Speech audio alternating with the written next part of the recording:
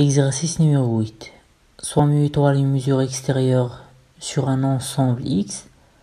Montrez que tout ensemble A inclus dans X de mesure extérieure nulle et catégorie mesurable. Donc montrer que tout ensemble A inclus dans X A inclus X de mesure extérieure nulle et catégorie mesurable. C'est-à-dire la mesure extérieure de A égale à 0 et catégorie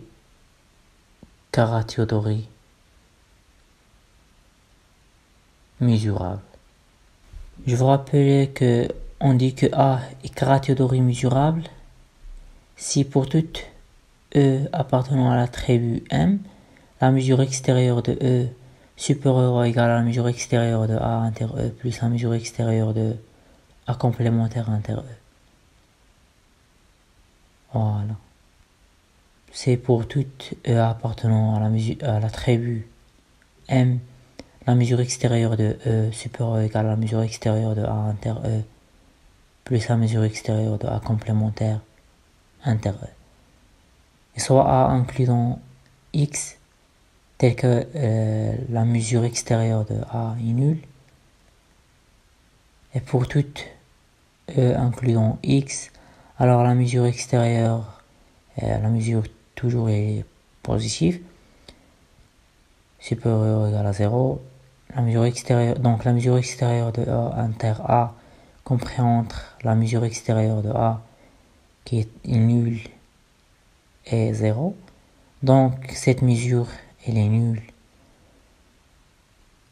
Euh, pour comprendre euh, ça, donc, supposons que ça c'est A, et A inclus dans E, par exemple ça c'est E, voilà, ça c'est E, tout ça. Toute euh, cette partie assurée par le rouge c'est E, et la partie assurée par le vert, c'est A. Et ça, c'est E moins A. Voilà. C'est le complémentaire de A. Égal à E moins A. Voilà. Donc, il est facile à remarquer que A égale à A complet. A, A égale à A inter E et A complémentaire égale à A complémentaire inter E. Parce que a euh, et A complémentaire sont euh, deux éléments disjoints dans E et A union A complémentaire égale à E. Donc, A, donc la mesure de A plus la mesure extérieure de A complémentaire égale la mesure de E. Voilà. Et on a vu que A égale A inter E et A complémentaire égale à a complémentaire inter E. Donc la mesure de E, la mesure extérieure de E égale à la mesure extérieure de A inter E plus la mesure extérieure de A complémentaire inter E. Voilà.